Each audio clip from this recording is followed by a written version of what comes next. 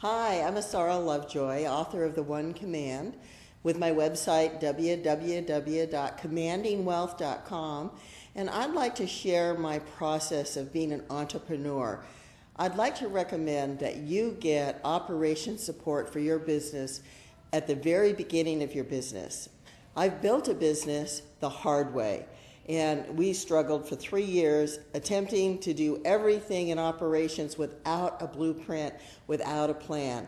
Yes, we've been successful, but there's been a tremendous amount of stress that we could have eliminated. And I'm an entrepreneur that's just like every entrepreneur out there that says, but I can't afford it.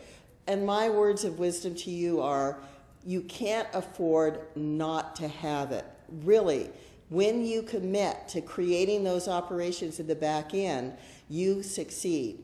And of course, we want to recommend Davy as the best person in the world. He has the clearest plan, the clearest sense of operation. I learned more in my one day workshop with him than I have ever read about in any book anywhere.